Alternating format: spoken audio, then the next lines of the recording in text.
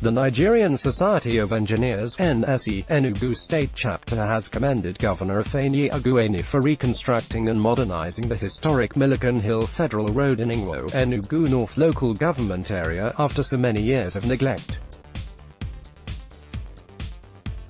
The body also applauded the governor for his quick response in the ongoing construction of more massive concrete retaining walls on the erosion-prone areas of the road, following the recent slight challenges witnessed on it during the last heavy rains in the state that lasted for over seven days. Speaking after an assessment tour of the site, the state chairman of the association, ENGR, Ifeanyi Afili, who was accompanied by a team of engineers, certified the ongoing massive erosion control and remediation work on the road, declaring that it was in compliance with the standard engineering specification for construction of a concrete retaining wall of such magnitude. ENGR Afili noted that the road was built on a difficult terrain and was hitherto neglected for so many years without any form of maintenance until the recent intervention by the state government, stressing that the governor deserves a commendation for reconstructing and remodeling the hilly and undulating road.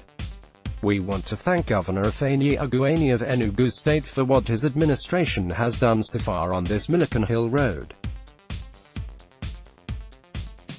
We know this road for a very long time. Attention has not been given to the road until now. So we commend the state government for paying attention to this road.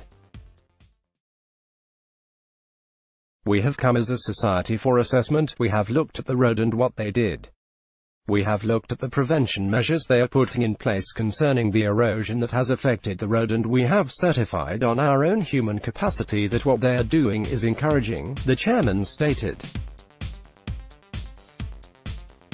ENGR.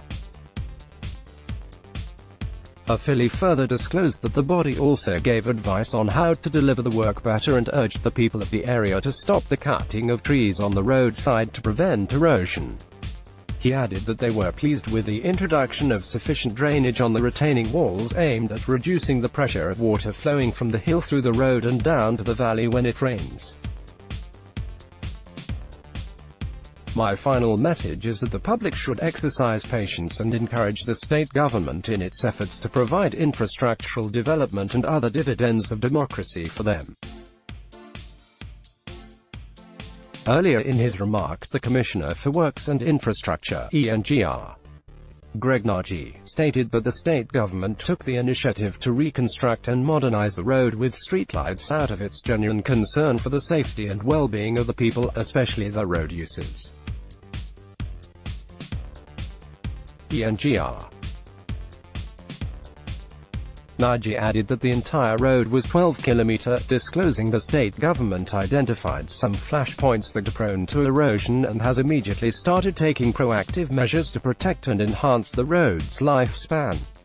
What we're doing is erosion control measures, more or less protective.